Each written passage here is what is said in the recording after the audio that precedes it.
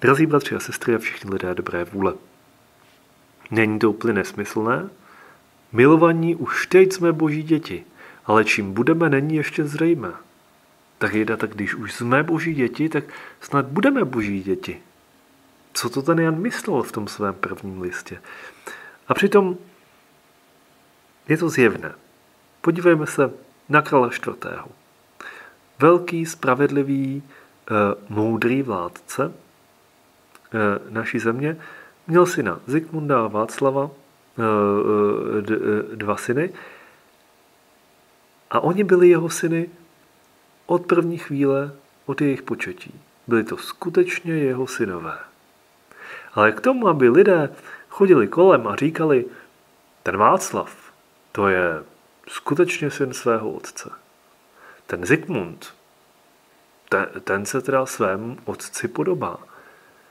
Tak k tomu nestačí být z něho zrozen.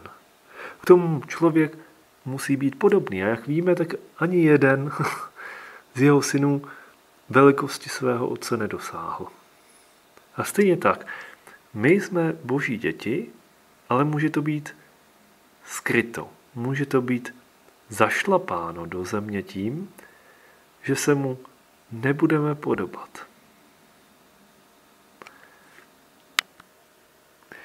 A teď se s vámi podělím o tu mou dětskou představu. Opravdu jako je to dětinská záležitost, ale která mě osobně pomáhá. A občas možná právě ty dětinské záležitosti, dětské záležitosti nám v našem životě i duchovním mohou mnoho prospět. A já eh, mnoho povzbuzení a mnoho odvahy a energie skutečně čerpám z toho, že si představím Boha, který ať je v nebi, nebo ať je tady blízko mě, sleduje mě, má mě rád.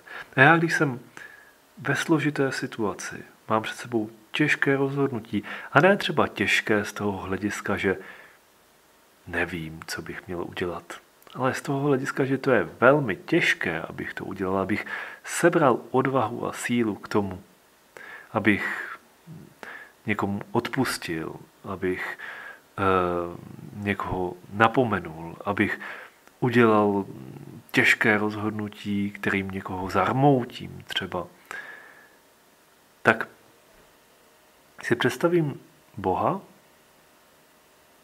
a říkám si, a představím si ho, jak se na mě dívá a říká si, to je můj kluk, to je moje dítě. Jak se usmívá a poznává ve mně sám sebe, svoji podobu.